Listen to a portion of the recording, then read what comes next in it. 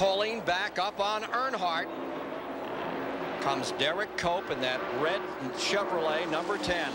And the car number one of Terry Labonte right in there running in the third position. Derrike Cope has never finished better than sixth place in any of his racing starts.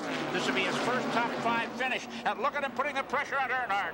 Huh, it looks like that run that Ruttman made a few years ago in Lake Speed. Coming down to Dale Earnhardt. One lap to go. Does anybody have anything left? Dale Earnhardt. Here comes D Cope down on the inside. Oh, Earnhardt has Earnhardt problems. slopping back. Something is amiss. Here comes the field driving for the finish. And on the outside, it is car number 10, Derrike Cope. Something amiss on the Earnhardt car. Coming to the line. It's Labonte pulling up and an amazing finish. The Whitcomb Racing Team has won it. Unbelievable. And it looked like Earnhardt had a tire go down maybe as he went into the turn. And Nicole crying a little bit. Derrike Cope's first top five finish, his first victory, comes in the Daytona 500. A remarkable day of sport. Unbelievable. Bob Whitcomb, who brought a team out three years ago, had nothing but misfortune and bad luck. And Rick Hendrick, who gave a car to one driver today to be in this race, literally gave it to him just, just to Stricklin. get him out here. Hut Stricklin, after uh, he was involved in that altercation. Now, he's put some motors together for this team, and they've won the biggest race of all. The man you see here in Victory Lane is Derrike Cope. The man he passed back there? That's Dale Earnhardt. One would go on to be a seven time champion, the other not. One would become a household name, the other an underdog fella who we recall from a fluke. One became legend, the other curiosity. It's the classic case of a one hit wonder. We see it in forms of media like music, but we see it in sports too. In the case of NASCAR, Ron Bouchard, modified track champ, would go on to make one of the biggest upset victories in the sport's history in 1981. Yet today, we only recall him for his passes on the outside at places like Stafford. So what about Derrike here? You don't end up running in the front of the Daytona 500 by accident. And hell, he beat Earnhardt to the punch by at least eight years. And while it may have been a part of his most stable season, this win at Daytona didn't materialize into further success. Where the hell did he come from anyway? This is the story of a one hit wonder. This is the story of Derrike Cope. Derrike Cope was born on November 3rd, 1958. Before he ever saw the racetrack, he was a regular on baseball fields. He'd managed to prove himself a very solid catcher and moved up to college baseball. So good was he that talent scouts on the Chicago Cubs and Baltimore Orioles regularly showed up to games, keen on potentially recruiting him. That all very quickly vanished when he ended up with a knee injury in the form of a torn meniscus and other adjacent ligaments. Some believe that this was his only sporting background, and that he hadn't been familiar with racing at all, but this actually couldn't be further from the truth. His father, Don, had actually participated in drag racing, especially through the 70s and 80s. Derrike here actually helped grind camshafts in the race shop and generally assisted putting motors together. It may not have been his first and foremost ambition in life, but whether he knew it or not, he'd been preparing himself for a faster future. His other siblings would also follow adjacent career paths, such as his cousin Ernie, who would find his place in NASCAR by becoming the competition director for JTG Daugherty. His brother Darren would also try to pay his dues as a driver as well. He'd step into a stock car for the first time in 1981, driving for Jefferson Racing in the ARCA series, and was already showing incredible promise, gaining the pole position in his first ever start at Portland Speedway. Especially impressive was this, given he'd never actually done this before. While he couldn't manage a flag to flag run, and didn't even manage to lead a lap, he nonetheless finished a very respectable sixth that day. Unfortunately, to put it lightly, the rest of the season did not go anywhere near as smoothly. Brake failures, broken valve springs, and other assorted engine maladies had ensured he'd never make it to the end, failing to finish his remaining three starts that he'd committed to. 1982 would see him continue his ARCA stint, but also his first ever Cup Series start, trying to find his way through the twisty S's of California Riverside. Tim Richmond would go on to win and prove the beginning of his road course success, and Derrike unfortunately wouldn't finish better than 36th that day. On the ARCA side of things in 1983, a very consistent effort was shown three top fives and top tens. An even better showing in 1984 in his first full ARCA season, with two wins, six top fives, and eight top tens. Unfortunately, it'd only be good enough to be a runner up in the championship, being just short of nabbing the title, but as you can imagine, he'd win the Rookie of the Year honors without much trouble. He was learning, and learning fast. His three Cup Series starts that year didn't amount to much of anything, something that would be a trend for the next few years. But that was the Cup Series. It's a pretty big leap from older Ford and Chevy bodies scooting around on short tracks. Now would probably be a very good time to answer a question you're probably thinking about right now. He never ran a Busch car? And yes, that's right. He only ever ran ARCA and found himself a Cup Series ride somehow. Typically, most would get a ride via showing their merits in the Busch Series first. It would seem that team owners just believed that he had enough of a knack for a Cup Series ride, which may be somewhat true, but at least at this point, he was only 60% of the way there. He still needed more time to grow and learn, as would be true for just about any driver. Speaking of growing and learning, 1985 saw him nab another win in the series, this time at Washington's Evergreen Speedway. Alongside with that were three top fives and three top tens to boot, as well as yet another pole position start. This would be his last full-time ARCA ride in the series, at least in ARCA West. That same year as well, he won three races in the ARCA Northwest Series, with two poles, four top fives, and five top tens. Solid effort, for sure but unfortunately it only landed up 5th on the overall final point standings, and he wouldn't win any races in 1986, but he would get not one, not two, but three pole position starts. And is as almost tradition at this point, you guessed it, three top 5s and three top 10s to show for it. Until his final start in 1990, he wouldn't manage anything better than a few top 5s and top 10s here and there, and overall no better than 19th in most point standings. Now you probably noticed I didn't mention anything for the latter half of the 80s as far as his cup career went, and that's not because he didn't race. He was there, but frankly there wasn't an awful lot to write home about there at all. However, I would be remiss if I ignored some of the efforts. In his first ever Winston All-Star race, driving for Fred Stoke in the number 19 Ford Thunderbird, he started 8th, and probably would have stayed there or finished better had the engine not gone bang. And for next year, he started 4th and finished 5th, driving for Tim Testa, and earning a cool 12 grand to show for his hard work. A prelude for what was to come. 1990 is where the Derrike that we come to know and remember comes into the fold. During the off-season, Derrike would sign with Bob Whitcomb to drive the number 10 Purolator Filters Chevrolet Lumina. Bob's team was a fresh upstart, having only entered the Cup Series in 1988. They were looking for some success, and even came somewhat close, with Ken Bouchard, Ron Bouchard's brother, in 1987 and 88, both in the Busch and Cup Series respectively. But it wouldn't materialize more than a few top tens. Bob looked at Derrike's resume and saw incredible potential. Derrike would team up with crew chief Buddy Parrott, with credentials easily worthy of the Hall of Fame, in 1989, helping him land four top tens, it seemed to get adjusted well enough, though Buddy was a very shrewd crew chief, which is to say, he set up the car and you adjusted to it, not the other way around. If you said it was wrecking loose, well, too bad. You're getting your spoiler knocked down an extra two inches for that. Get used to it and ride the banking more. With just enough of a budget to buy engines, but not enough to have an engine shop of their own, the number 10 team will rely on Hendrick Motorsports as their engine supplier. As is tradition, the qualifying for Daytona is decided via speed weeks. Things would go off initially without a hitch, but without much of the pace that they needed, starting only 19th. But by the end of the race, they'd nab 6th in their qualifying stint. The stage was set, and it was time for one of the lowest funded race teams to try and put on a show. This was a big deal for Bill in particular, as just a year prior, they'd actually gone broke. To do well here would mean the world to him, and ensure some sort of a future for the team.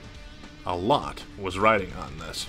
Ken Schrader would be that day's pole sitter, sitting pretty in the white and green number 25 Chevy Lumina for Rick Hendrick. but he would have to fall back in the field for the start. It was also a filming day for the upcoming film Days of Thunder. The two camera cars would start at the back of the field. The number 18 Hardee's car, driven by two time Busch Series champ Tommy Ellis, and the now iconic number 51 Mellow Yellow Chevrolet, driven by Bobby Hamilton. They would go the distance of only 100 miles before leaving the track and hand their camera tapes over to Tony Scott. Tom Cruise would not be the story of the day, and the events that were about to unfold would be equally fit for cinema. Geoff Bodine, in the number 11, would lead the first lap, but in Earnhardt typical commandeering fashion, would lead after that. 53 laps later, Ken Schrader would go from the back of the pack to 5th, mingling with the leaders.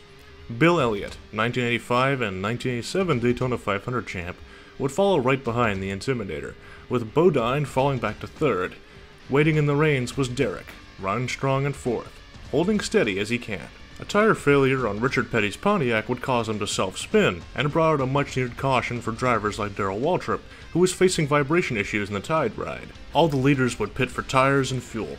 Derrike Cope leaves pit road inheriting 10th. Ken Schrader's charge to the front will be paused for now, and any forward progress was nullified by a slow pit stop due to a stubborn lug nut on the left rear tire. He will restart 15th. Jimmy Spencer in the number 57 Heinz Pontiac will lead them after only taking right side tires in the pit cycle. As a consequence, though, Mr. Excitement wouldn't hold the lead long, however, as the black number 3 hovers into view and passes him on the inside. Derrike Cope would begin to make up his deficit from 10th spot to 7th, with Schrader passing him from 15th to 6th spot, and then 3rd, passing Mark Martin. Second caution will be called by Phil Parsons, taking out Busch champ and Cup Series rookie Robbie Moroso, Alan Kulwicki, and Mike Alexander, who was driving the number 12, driving for Bobby Allison. Kulwicki would drive away mostly unscathed, and the other three cars would be junked for the day. Richard Petty would take advantage of the situation, gaining two laps back under caution by not pitting. Schrader would still face slower pit cycles. For instance, in the case of the Childress crew, fuel and four tires only took them 24 seconds. For the 25 team, with the exact same procedure, 31 seconds. Alan Kulwicki would opt to swap tires, but only to help the roll the car easier behind the wall.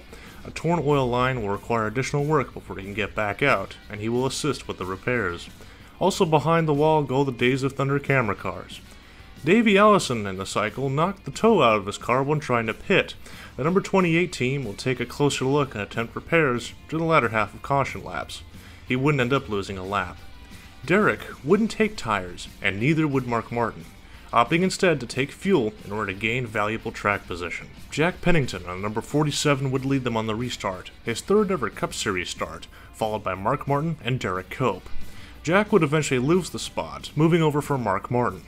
Onto the Tri-Oval, and with Earnhardt behind him, Derrike would inherit the lead from Mark, leading lap 54, being the first lap he ever led in the great American race.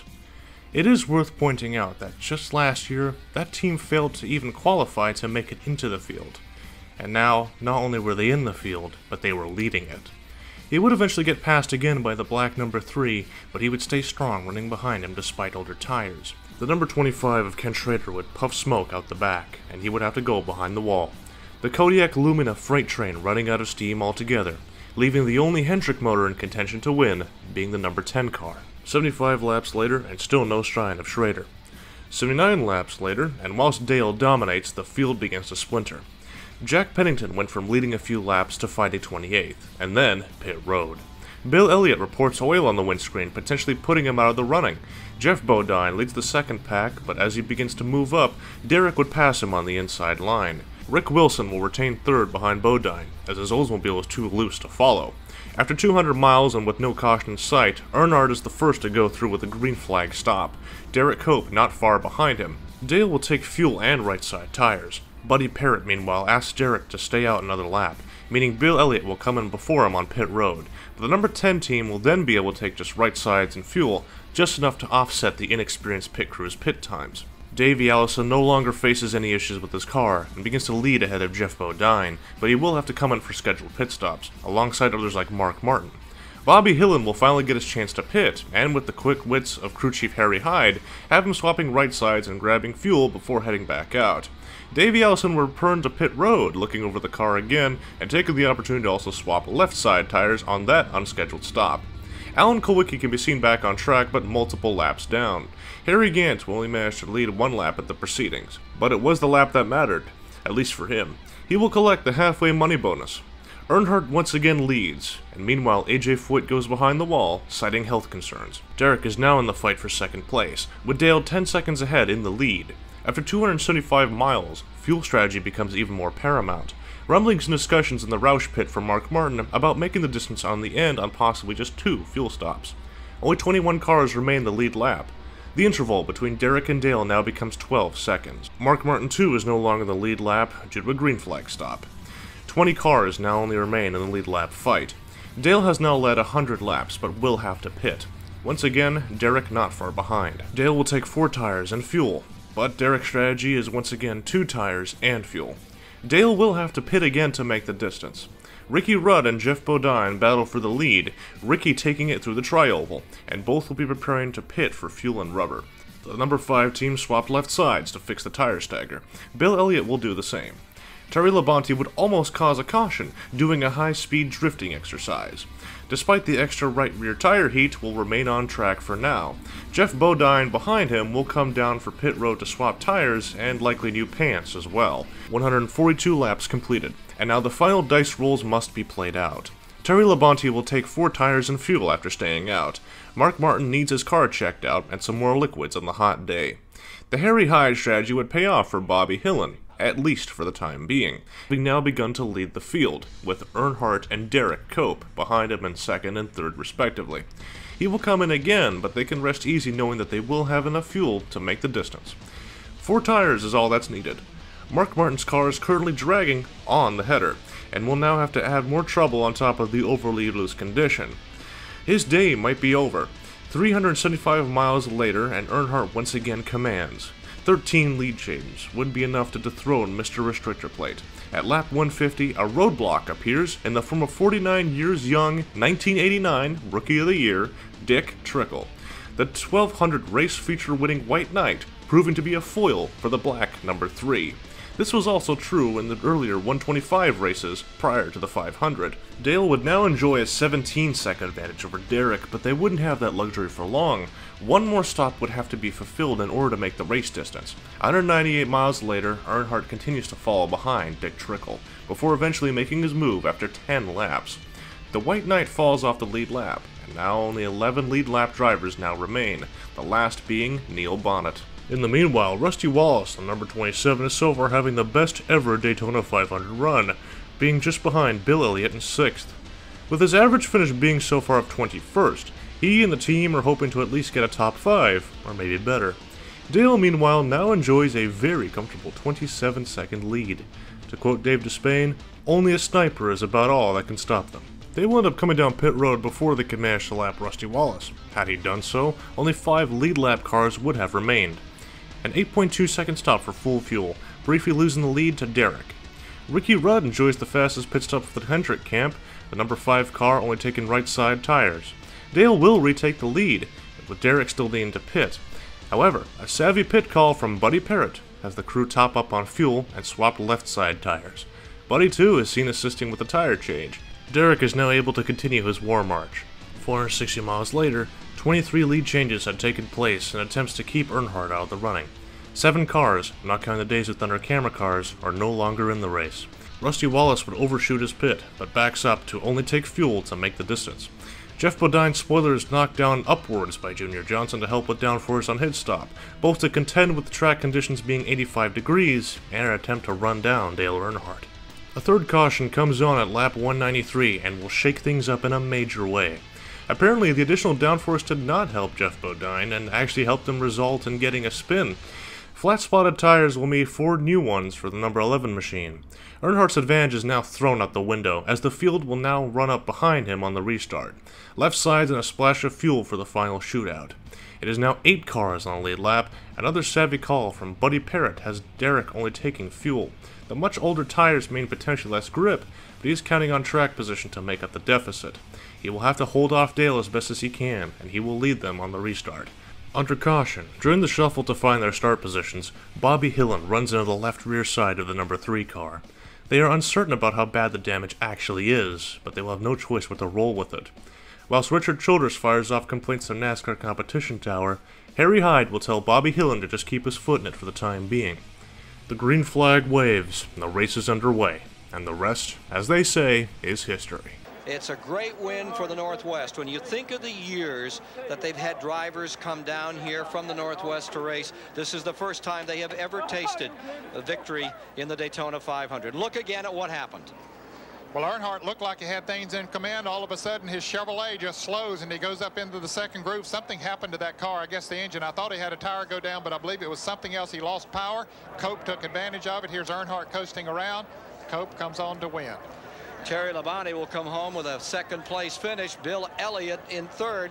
Let's go to Dave Despain. Derrike Cope still has a problem. He's on the radio to the crew chief, Buddy Parrott. What did he say? You don't know where Victory Lane is. you believe it?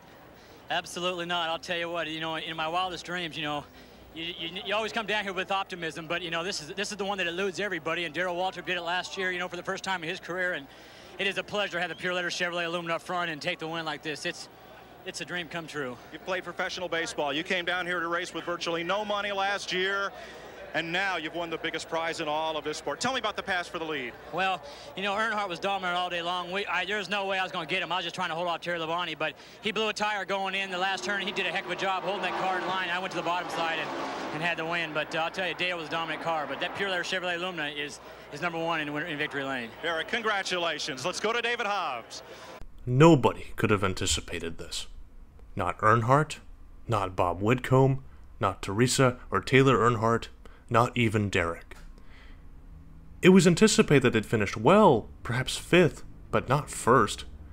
It was the first Cup Series win for the team, too, and it could not have been a bigger win. Derrike Cope, at best until today a backmarker, now forever will be a Daytona 500 champion. All the pieces fit. A veteran crew chief, formerly working with the likes of none other than Richard Petty, now helps a young upstart driver and a young upstart team get to high places. Nothing short of incredible. But where would they go from here? What they didn't know is that time was now against them. Bob Whitcomb now may have had a great combination, but still not enough money to sort out loose ends. The Hendrick Racing engine deal was only for 21 races. He also couldn't afford to keep Buddy Parrott around forever either. They may have done the unthinkable, but now they were about to have to make a lot happen with very little in reserve. The results to follow to some may be expected. At the next week at Richmond, Mark Martin would begin his 1990 championship fight by nabbing the win, but Derrike would be junked come lap 305. The fans already were beginning to call the Daytona 500 winner nothing but a sheer fluke, or, at the very least, Bob Whitcomb only putting all his eggs into the superspeedway basket. Kyle Petty would win the next race at Rockingham, and Derrike at least mustered 12th, climbing up from 15th. The week after that, Dale would take Atlanta, and Derrike would take a blown motor, with deja vu at Darlington the following weekend. At Bristol, Davey would win it, edging out Mark Martin. Derrike, however, wouldn't even make it 56 laps before being junked altogether. As you can imagine, this was taking a huge toll on the team. It was already costing them a lot to operate, but it was now bleeding into what was already remaining in reserves. Something had to change for the better and fast. Derrike would finish no better than 21st at North Wilkesboro, but at least there, and Martinsville the week after, he could keep it out of the fence.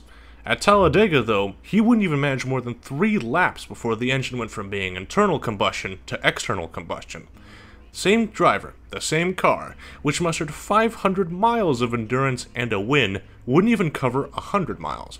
Ironically, in that year's Coca Cola 600, not only did the engine not blow, but it held together enough to finish ninth.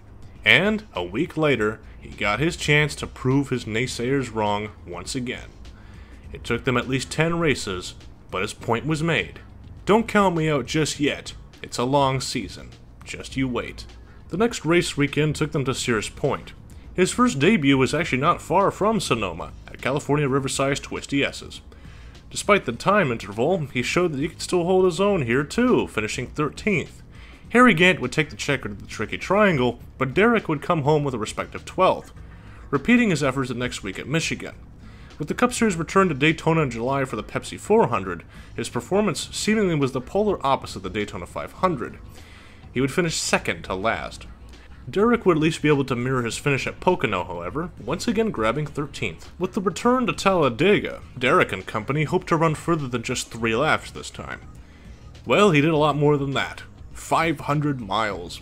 And quick thinking during those 188 laps would let him finish 7th.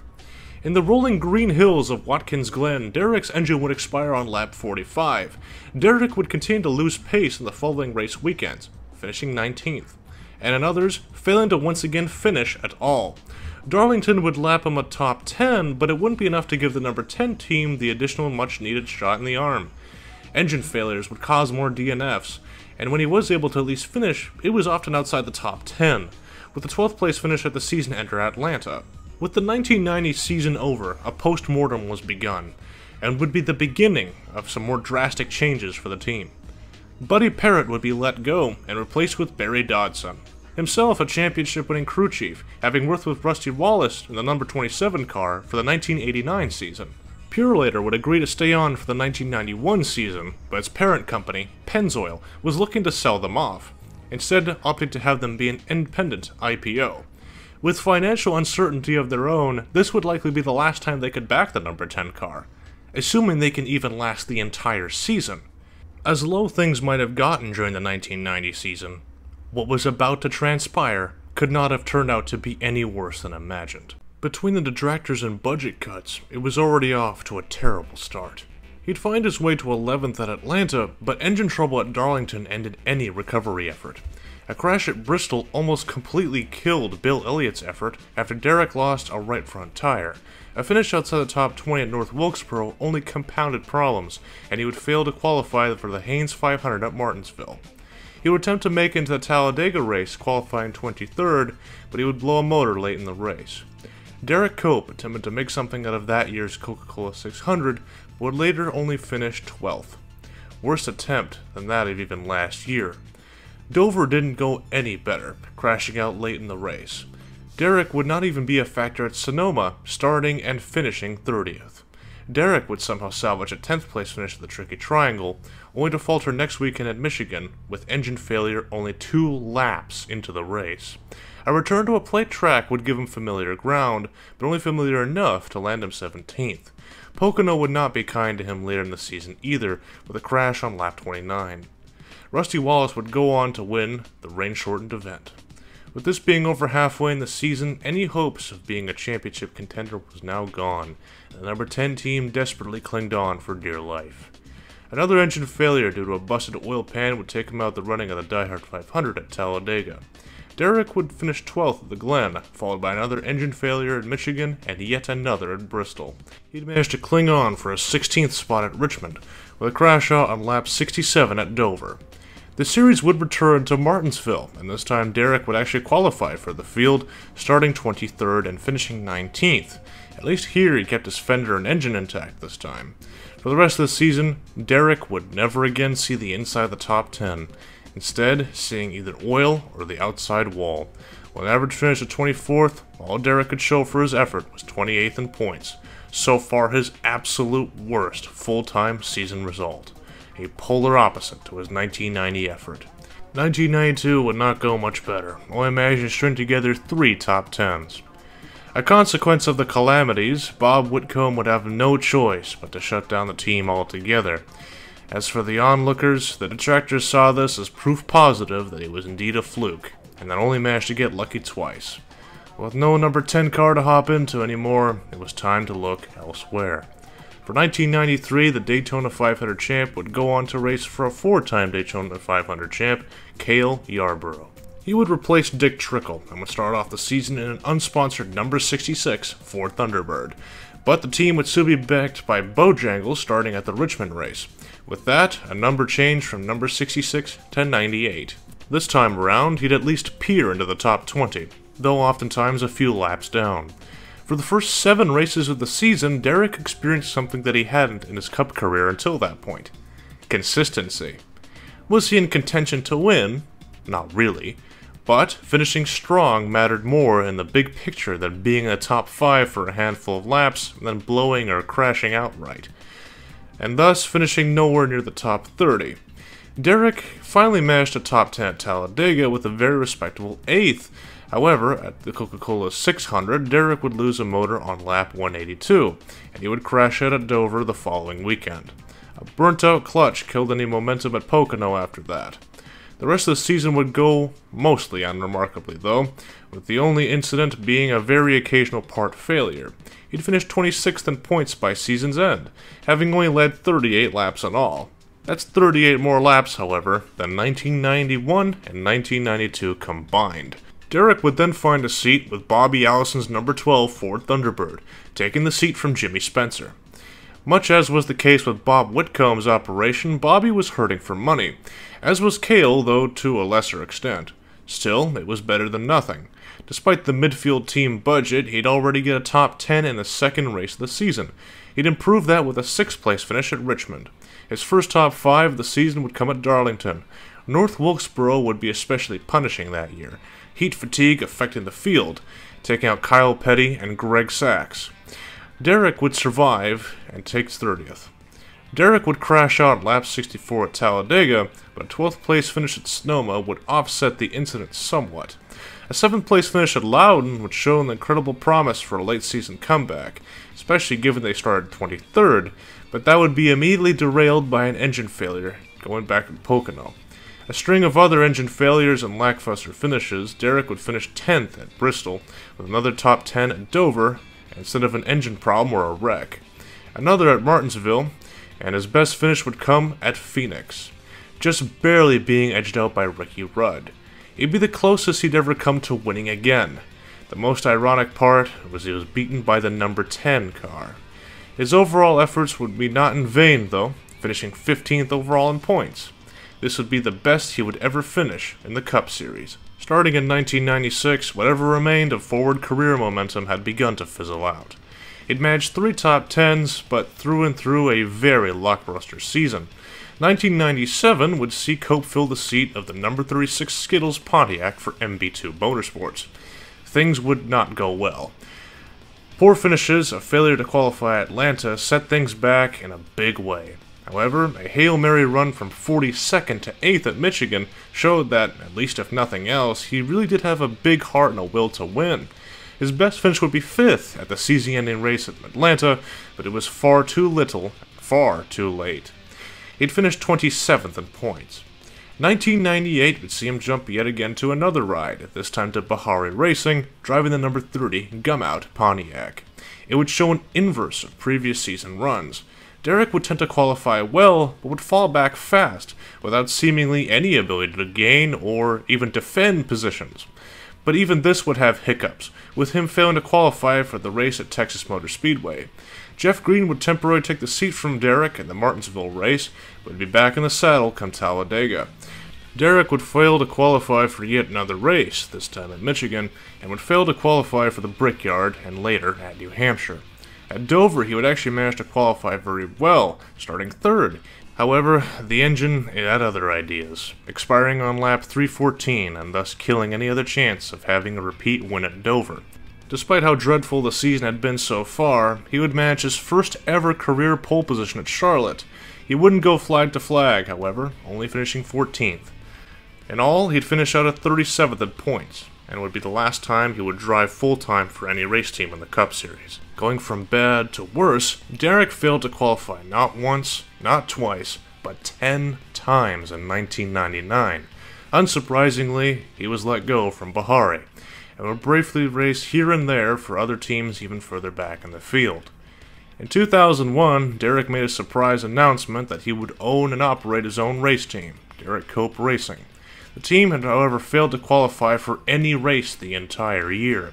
Come 2003, Don Arnold of Arnold Motorsports, a famously field filler operation, offered to merge teams. Derrike Cope's Daytona champion status allowed for provisional starts. 2004 would see that the deal would go through, merging the number 79 and 37 teams, resulting in the number 50 Dodge. At that year's Dodge Dealers 400 at Darlington, Derek still showed that he had some life left in him. I got some more looking to do. We got to do some We're checking out. I'm with you. Tell you what, I believe Derrike Cope's on a pretty good run right here. Let's see where he's going to be. He's on the pole, guys. 28-77. But he practiced good. He practiced good. What about that? Bring it in, Derrike. Bring it in now. Yes, sir. Holy cow. Actually, uh, the car was pretty good. It really wasn't a, it wasn't a hold your breath lap. The car was good and solid, you know, and uh, you know I took a chance down there and uh, matted it, and the thing stuck. And just a tribute to Mike Hillman and Don Arnold and everybody giving me the opportunity to run this car. And uh, tell you what, Mike Gigi engines, uh, it's nice to drive really good equipment. It wouldn't result in starting on pole, but a fifth place starting spot is nothing to sniff at even in a higher end car, but especially more so given the state of the team and equipment. The team and the operation would part teams after the Coke 600, however. 2008 would see Derrike's team attempt to rejoin the Cup Series, but he'd fail in both his Cup Series restart attempts. They would also attempt to run in the Busch Series, now called the Nationwide Series. In 2010, Derrike's nieces Angela and Amber Cope would also be given opportunities to run the Truck Series under his operation. Speaking of the Truck and Busch Series, you may have noticed I haven't really mentioned either series much in relation to Derrike here. Is it because he completely skipped both series? Well, no, actually. It may not have started in Busch, but he did actually eventually get a start in 1990, the same year of all his winning efforts. Seems a bit strange on its own, but he would never be a blip on the Busch radar until much later. And the case of the Truck Series, even more so. He'd be one of the first drivers to kick off the NASCAR Craftsman Truck Series starting in 95 and would continue to race as late as 2008 but throughout that entire time, he only managed just one top 10. In the Busch Series, he'd managed one win at New Hampshire in 1994, eight top 10s across that entire series. But this is not what people remember. What people recall more than anything else, of all things, is this. It's got a flat right front tire and the hood's off this car. It's obviously had some sort of issue hood not off, and this is he's missing the bus stop. Oh my goodness. And I suppose that's the most unfortunate part about all of this. Fans of the sport for decades will know exactly who Derrike is, but those in recent years, granted myself included, only knew this much about him. Surprisingly, you'd have to dig a bit to even know he was in contention to win the Daytona 500, let alone become champion. A freak tire explosion is more associated with him than his win in the Great American Race. His scuffles with modern era Cup Series drivers are better remembered than even his own Cup Series efforts. It's for this, and many other reasons besides, that he is forever a curiosity in the sport's history. As for Derrike's side in this, he still adores the sport. Unfortunately, his last attempt at running a team or even participating in the sport was in 2021 with Starcom. If you still feel he's a fluke at the end of all this, that's your prerogative. If you think he was the most underrated, there's a case to be made there too. There's one thing that is for certain, however. Say what you will, but he will, forever and always, be a Daytona 500 champion.